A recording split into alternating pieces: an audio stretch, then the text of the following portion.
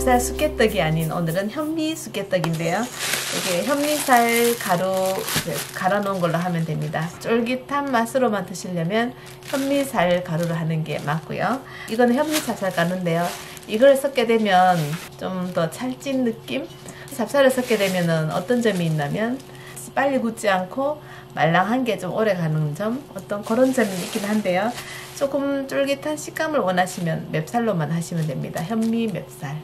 그리고 조금 더 어, 말랑한 걸 원하시면 현미 찹쌀 이렇게 좀 섞으면 됩니다. 저는 현미 찹쌀을 많이 섞진 않겠습니다. 한 10% 10%만 섞겠습니다. 자 이거는 쑥이고요. 제가 다 이미 좀 손질을 해서 씻어서 왔습니다. 이거를 먼저 믹서기에 좀 갈아야 되거든요. 이건 200g이고요. 어, 한 100g만 있어도 되고요. 이렇게 100g은 손에 이렇게 깍 쥐어서요. 한 줌 이렇게 딱 잡으면 100g 정도라 생각하시고 하면 됩니다. 이거를 믹서기에 돌리려면 칼로 좀 썰어주든지 아니면 가위로 좀 대충 좀 잘라주겠습니다. 이게 숙이 좀 질근하다고 해야 되나요? 그래서 그 칼보다는 잘 드는 가위가 자르기가 더 쉽습니다. 저는 쑥을요? 한 100g 정도만 반만 200g 중에 100g만 아, 갈아보겠습니다. 그리고 이거 물 종이컵 하나 붓고요.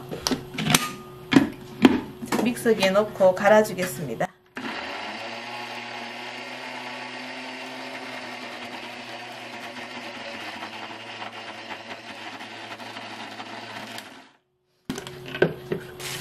자 이렇게 갈았습니다 건더기 어, 숙이 좀 씹히도록 가위로 있죠. 좀 이렇게 대충 좀 잘라서 이대로 섞어 보겠습니다.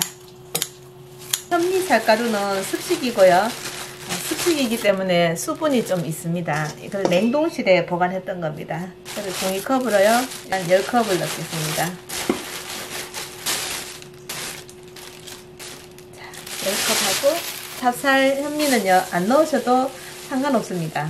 근데 많이 넣으면 오히려 질척하고 안 좋으니까 딱 종이컵 한 컵만 넣겠습니다. 요거는 진짜 생략하셔도 상관없는 겁니다. 설탕은 여기 어차피 현미는 무르니까 설탕도 그냥 누른 거 넣겠습니다. 하얀 거 넣어도 되고요. 설탕 대신에 유수가를 좀 넣으셔도 됩니다. 섞어 넣으셔도 됩니다. 방앗간에서요 이미 살을 빨 때 습식은 거의 그 소금을 넣어오거든요. 근데 만약에 소, 건식 쌀가루를 할 경우에는 물을 저보다 좀 더 많이 주고 소금은 조금 타시는 게 좋아요. 다가 아까 갈아 놓았던 거를 넣어주겠습니다. 습식은 건식보다 물을 적게 먹기 때문에 건식이면은 물을 많이 넣습니다. 이렇게 주물러 가면서요. 자 여기다가 아까 잘라두었던 쑥도 넣고요. 자 이렇게 하면 수분이 습식이기 때문에 이 정도면은 충분히 어, 간것 같습니다. 다 됐습니다. 아, 저는 종이 호일을 깔겠습니다. 아니면 면보 물에 적셔서 깔아도 되고요.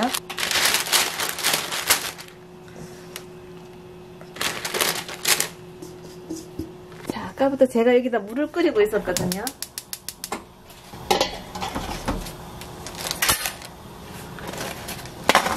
이렇게 하면 잠시 후에 김이 오르거든요. 김이 오르고부터 30분 푹 쪄주겠습니다.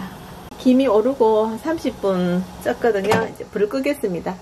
그리고 안에 종이 호일이 들었기 때문에 빨리 꺼내주겠습니다. 비닐을 한 개 도마에다가 하나 씌우고요. 또 이렇게 면장갑 끼고 또 장갑을 꼈습니다. 그리고 여기 식용유와 참기름을 반반 섞었습니다. 좀 발라주고요.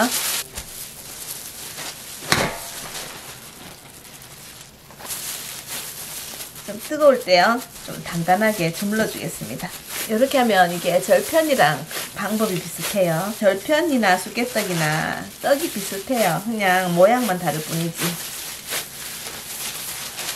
주먹으로 때려가면서 이게요 그 현미떡이 맵쌀떡만큼 그렇게 아주 쫀득거리진 않아요 왜냐면 이게 현미에는 그 겨 가루 있죠 어, 그 껍질 부분이 많기 때문에 맵쌀보다는 조금 더 어, 덜 쫀득하긴 합니다 자 이렇게 현미떡이라서 색이 이렇습니다. 뭐 더 예쁜 떡이 나오긴 어려울 것 같아요. 쑥 건더기도 넣었기 때문에 자 이렇게 해서 이제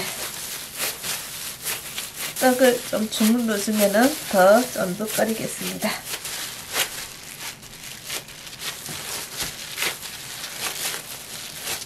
이걸 어느 정도 좀 주물러 주면은요 쫀득거리니까 여기다가 먹기 좋은 사이즈로 잘라서 이제 떡 모양을 만들면 됩니다.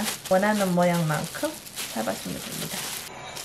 기름을 바르면서 아, 여기다가요 그 콩가루를 발라서 놔둬도 되고요 서로 안 붙게 아니면 이렇게 기름을 발라서 이렇게 놔둬도 됩니다. 동그랗게 한 다음에 좀 손, 손 모양도 좀 이렇게 들어가고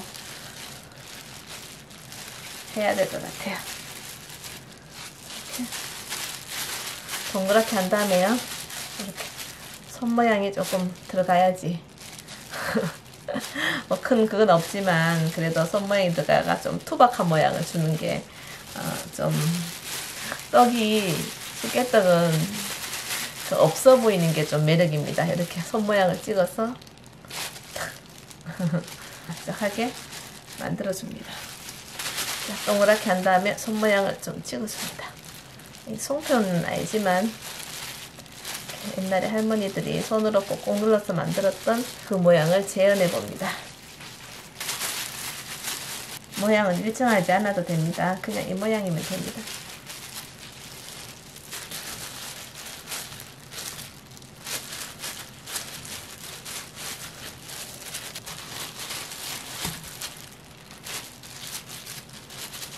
이렇게 만들면 됩니다. 다 됐습니다. 쌀 11컵 가지고 해도 제법 많이 나옵니다. 자, 일부 먹을 거는 이렇게 좀 담아 놓고요.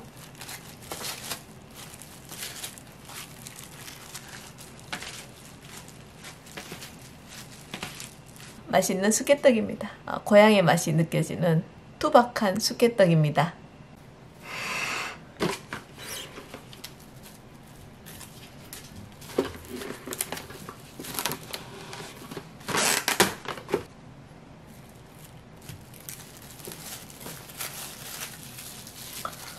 이렇게 한 개씩 이렇게 한 개씩 포장해서 냉동실에 넣어놨다가 드시면 될 것 같아요. 한 개씩 해동시켜서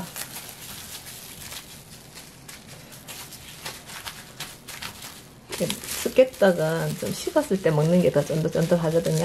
한번 먹어보겠습니다. 음, 오늘은 찹쌀이 조금 들어가서 약간 물렁물렁? 그냥 이거 하나도 한 끼.